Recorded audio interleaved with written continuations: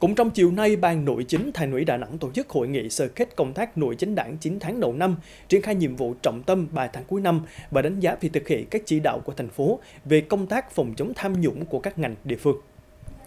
9 tháng qua, Ban Thường vụ Thành ủy tiếp tục chỉ đạo các ngành, địa phương, đơn vị triển khai các nhiệm vụ quốc phòng, quân sự, bảo đảm an ninh, trật tự an toàn xã hội, theo đó, các ngành chức năng đã khởi tố một trường hợp vi phạm an ninh quốc gia, khởi tố 834 vụ án với 1.433 bị can vi phạm trật tự an toàn xã hội.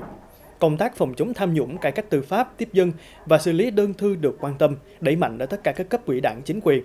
Cơ quan thường trực Ban chỉ đạo thành ủy về phòng chống tham nhũng đã tiếp nhận, phân loại và chuyển cơ quan có thẩm quyền xử lý 30 đơn của công dân, tổ chức Thành ủy cũng đã chỉ đạo xử lý 3 vụ án, vụ việc thuộc diện bình quản lý và 19 vụ án, vụ việc giao ban nội chính Thành ủy theo dõi, đồn đốc trong lĩnh vực nội chính. Ban Thường vụ Thành ủy cũng thường xuyên theo dõi chỉ đạo, đồn đốc các ngành địa phương tháo gỡ khó khăn trong tiếp nhận, giải quyết đơn thư và các vụ án vụ việc. Hội nghị đã thảo luận thông qua nhiệm vụ trọng tâm công tác nội chính đảng trong 3 tháng cuối năm. Theo đó, tiếp tục thực hiện đồng bộ nhiều giải pháp nhằm đảm bảo an ninh trật tự, an toàn xã hội, nâng cao chất lượng công tác phòng chống tham nhũng, tiếp nhận giải quyết đơn thư, cải cách hành chính, đáp ứng yêu cầu nhiệm vụ trong tình hình mới.